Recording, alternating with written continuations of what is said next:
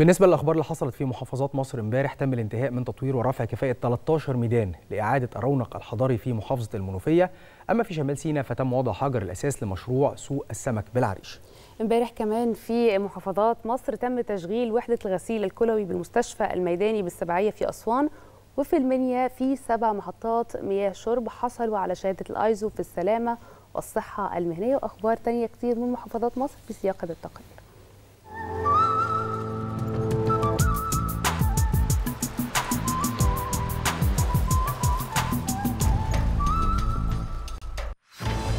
محافظات مصر شهدت امبارح أخبار وأحداث كتيرة. في المنوفية تم تطوير 13 ميدان ضمن خطة رفع كفاءة الميادين العامة بكافة مراكز ومدن المحافظة للحفاظ على القيمة الجمالية وإعادة الميادين لرونقها.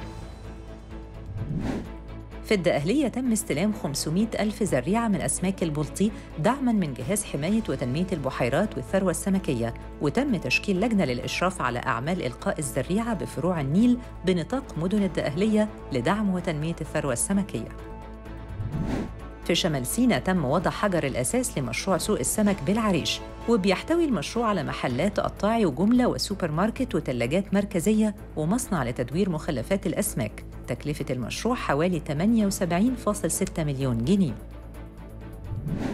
في بني سويف تم تنفيذ قافلة طبية بقرية التضامن مركز سمسطة مكونة من ست عيادات في مختلف التخصصات وتم الكشف على 1001 مريض وصرف العلاج ليهم بالمجان. فأسوان تم بدء تشغيل وحدة الغسيل الكلوي المؤقتة بالمستشفى الميداني بمدينة السباعية بطاقة 14 ماكينة غسيل كلوي مجهزة على أعلى مستوى للتسهيل على المرضى اللي كانوا بيتحملوا مشقة الذهاب لأقرب مركز للغسيل الكلوي واللي بيبعد بنحو 5 كيلو متر بمنطقة حاجر السباعية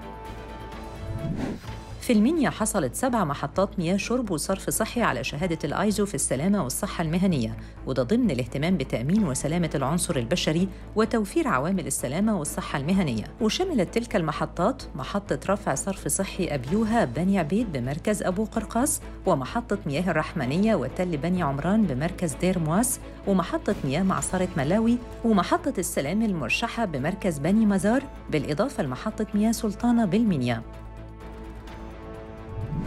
في قنا أعلنت المحافظة عن توافر لحوم بلدية بسعر 220 جنيه للكيلو بمنافذ الجمعية التعاونية الاستهلاكية بمدينة قنا وده في إطار حرص المحافظة على تقديم الدعم للمواطنين محدود الدخل ومراعاة للظروف المعيشية.